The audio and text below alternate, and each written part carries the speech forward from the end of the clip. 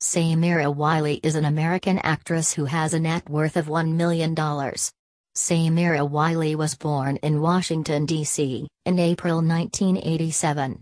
She is best known for playing the role of Poussey Washington in the Netflix series Orange is the New Black.